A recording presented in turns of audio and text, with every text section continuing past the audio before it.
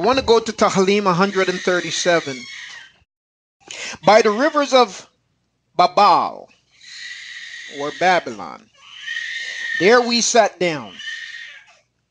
Yea, we wept when we remembered Zion. We hanged our harps upon the willows in the midst thereof. For there they that carried us away captive required of us a song.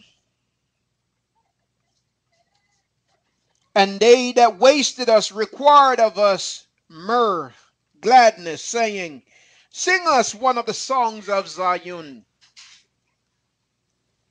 And we respond, How shall we sing Yahuah's song in a strange land?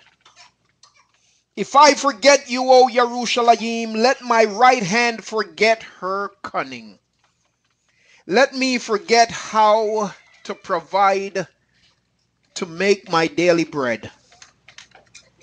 If I forget you, O Yerushalayim, if I do not remember you, let my tongue cleave to the roof of my mouth.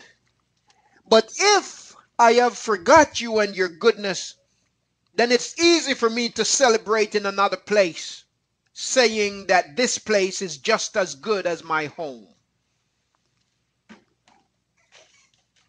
If I do not remember you, let my tongue cleave to the roof of my mouth.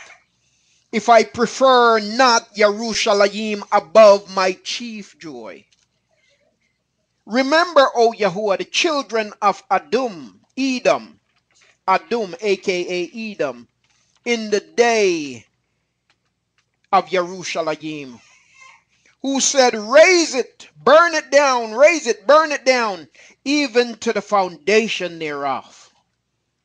O daughter of Babal, Edom, Adum, who are to be destroyed, happy shall he be that rewards you as you have served us. Happy shall he be that take and dash your little ones against the stone there are some people that say that we, the people, the set apart people of Yahuah, is going to dash the babies of Adom, Edom against stones, and the scriptures doesn't say that. Yahuah uses the wicked to judge the wicked. And the wicked will dash their babies against the stone, their very own people. Adom will dash Adom against the stone.